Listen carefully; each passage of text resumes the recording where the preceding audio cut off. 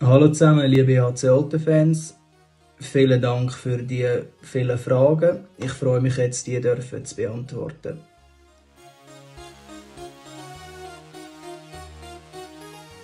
Ähm, der grösste Einfluss auf meine Entwicklung hat sicher die verschiedenen Trainer gehabt. Also seit klein hatte ich wirklich immer super Trainer gehabt, also meistens.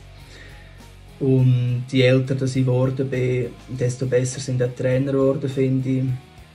Und ich habe wirklich das Glück gehabt, mal einen kanadischen Trainer zu haben, mal einen Schweizer, jetzt einen schwedischen. Also wirklich jeder einzelne Trainer hat äh, gute Sachen gehabt, weniger gute, aber ich habe wirklich von jedem können profitieren und das hat mich sicher am meisten beeinflusst. Die erste Saison in Old hat mir super gut gefallen. Ich bin mega gut ins Team aufgenommen worden am Anfang, wo ich gekommen bin. Die Jungs sind super Typen, ich habe wieder gute Freundschaften können schliessen. Es ist sehr familiär bei mir AC Olten, was ich auch mega schätze. Die Umgebung ist ruhig und auch eine super Wohnung in Hagendorf mit dem Sedi zusammen. Und ich fühle mich wirklich wohl. Klar ist äh, die Saison jetzt nicht so verlaufen, wie wir uns das vorgestellt haben. Aber ich glaube, nächstes Jahr haben wir etwas Gutes machen und ich freue mich auf jeden Fall schon wieder mega, wenn die Saison anfängt.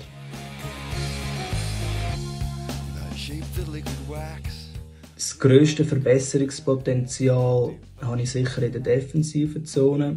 Ich denke, zum Teil wäre es gut, wenn ich etwas ruhiger bin, vielleicht nicht so hektisch.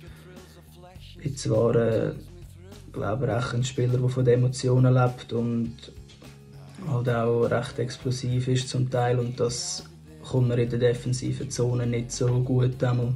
Dort ist es wichtiger, dass man vielleicht zum Teil lieber mal den Stürmer noch ein bisschen draussen lässt und die Inside-Position behaltet. Und ja, dort kann ich sicher ruhiger werden. Und ähm, das physische Spiel natürlich über ein ganzes Eisfeld verteilt, das mich verbessern kann. Das hat sicher aber auch damit zu tun, im Sommer hart zu arbeiten und schwerer zu werden, mehr Muskeln zu bekommen. Und ja, offensiv finde ich, könnte ich an der blauen Linie das Spiel ein mehr an mich reissen. Sicher mehr aufs Goal schiessen und das Goal auch treffen, was das Wichtigste ist. Äh, beim Goaltreffen habe ich sicher am meisten Potenzial.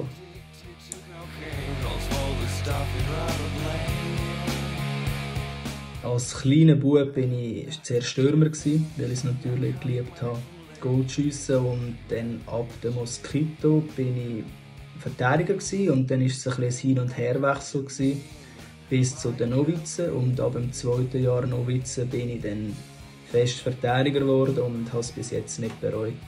Also es gefällt mir wirklich super und ich werde nicht mehr zurück auf Stürmer wechseln.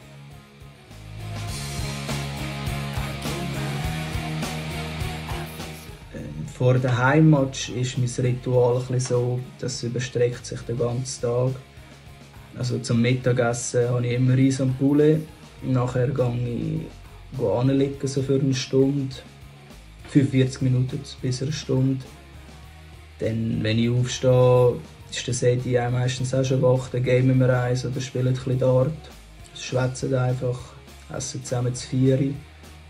Dann nachher gehen wir zusammen ins Stadion und auf der Fahrt hören wir immer das gleiche Lied. Drei, vier Mal. Und ja, dann in der Garderobe eigentlich nicht mehr gross, nur dass ich alles mit rechts zuerst anlege. Also rechter Schlittschuh zuerst, bei den Scheinbeinschoner zuerst recht und bei den Ellbogenschoner genau noch das Gleiche. Aber sonst habe ich kein spezielles Ritual. Ich glaube, es gibt andere Spieler mit äh, verrückteren wie ich. Ja, vielen Dank für die vielen Fragen. Es hat mir Spass gemacht, die dürfen für euch zu beantworten. Ich freue mich schon wieder aufs Kleinholz mit euch. Bleibt gesund und habt Sorge. Ciao zusammen.